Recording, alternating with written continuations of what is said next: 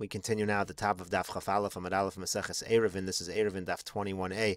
The Brisa here continues Metafes Viola, Metafes Viored. When it comes to a human, humans are not supposed to use the leniency of Pase Biros. They should climb uh, into the well itself and get the water because they're able to do that. Rashi says, Metafes Oches Biyada Varaglov Biksolim Vinichnas Viotze. They should hold, he should hold with his hands and his feet on the walls of the well and go in and out. There's no reason to use the kula to draw the water out of the well into the area between the Pase Biros, which again really is drawing from the Rishus Hayachid of the Be'er to the Rishus Hayachid between the Pasei Biros, but that's a leniency to consider Rishus Hayachid. Instead, for humans as opposed to for the animals, you should just go into the well and drink. So the Gemara says, Ini, is that really true? V'amar Rav Yitzchak, Amar Rav Shmuel. But Rav Yitzchak says in the name of Rav Yudam, in the name of Shmuel, Lo Pasei Biros, Elo Be'er Mayim Chayim Bilvad. It says the Pasei Biros is only allowed for uh, Be'er Mayim Chayim, for flowing water, not for gathered water. Ve'ila behema, and if the only uh, reason for the Pasei Biros is for animals, Mali Chayim, Mali Mechunasin, what's the difference if it's if it's Mayim Chayim, it's flowing water, if it's gathered water, who cares? So the Gemara says, "Ba'inon midi dechazi la'adam." It needs to at least be water that's fit for a human to drink. Rashi says, "Midi dechazi la'adam." Kaven demayim mashvi luhu mechitza. Since it's the water that make the mechitza work, ba'inon mayim chashuv, and therefore you need to have chashuv water, water that could at least be drunk by a human if the person would want to drink it. The Gemara continues, Gufa, analyzing what we just said before, Lohutru Pase Biros el Behema Bilvad, that when it comes to Pase Biros, the leniency is only for animals. Aval Adam Metafis Viola Metafis Viori, but when it comes to a person, he should go into the well and drink and then come out.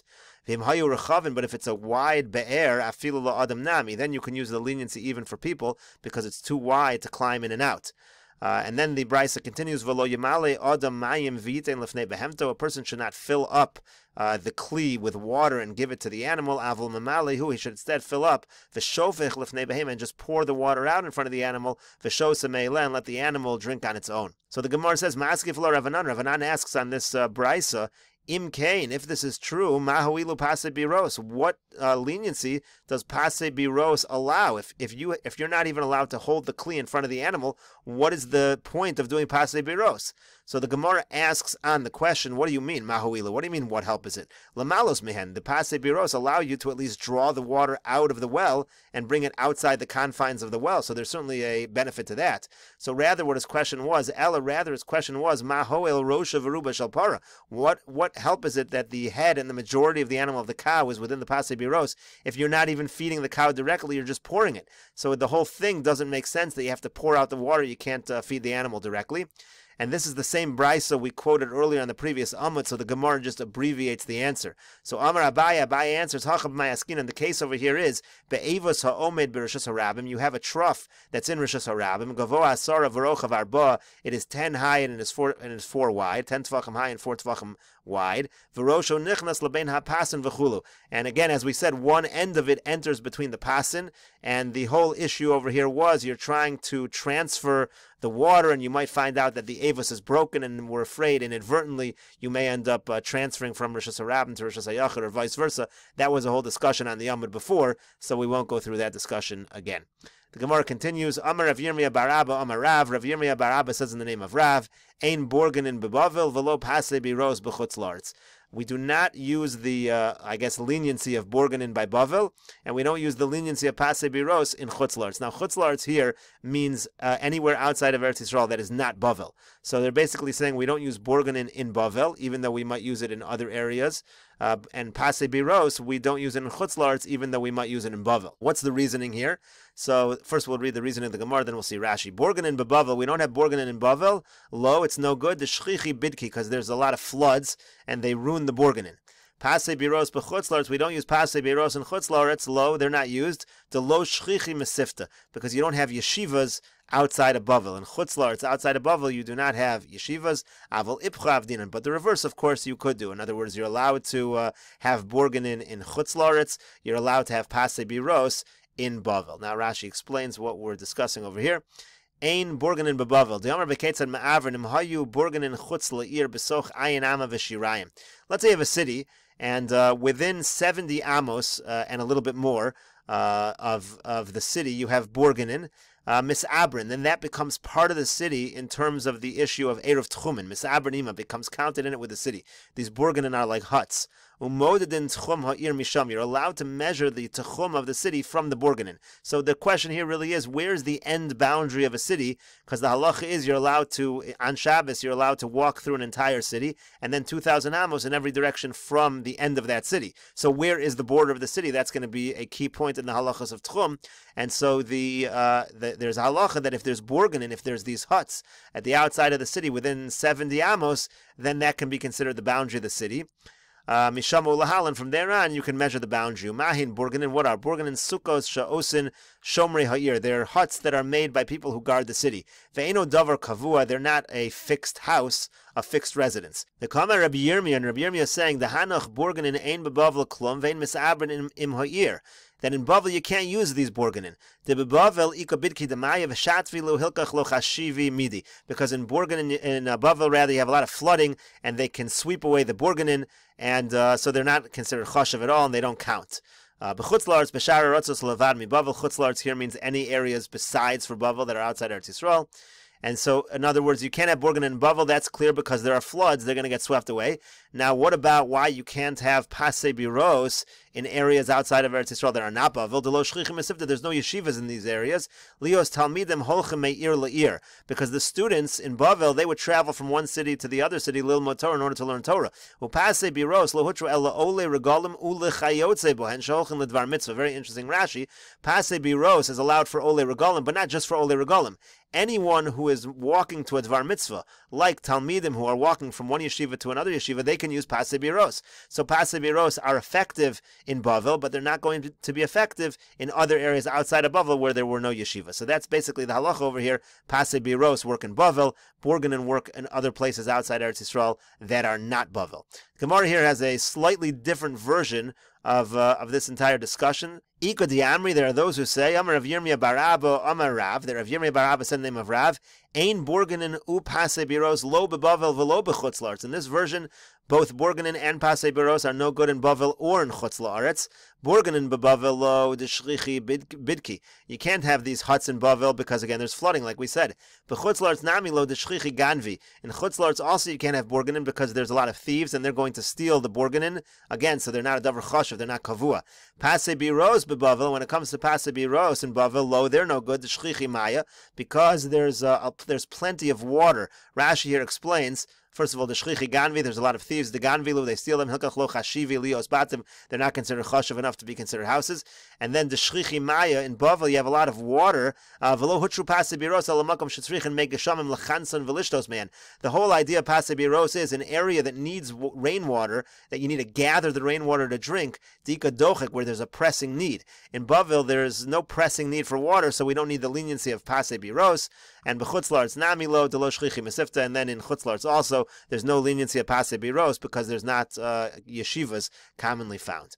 Amar le Rav Chisda, Lamori Breder, Rav Huna Breder, Rav Yirmiyah Barabba. Rav Chisda said to Mori, the son of Rav Huna, the son of Rav Yirmiyah Barabba, Amri, they say, Asisu mi Barnish leve Knishta de Daniel, that you traveled from Barnish, which is a place, to the uh, the shul of Daniel.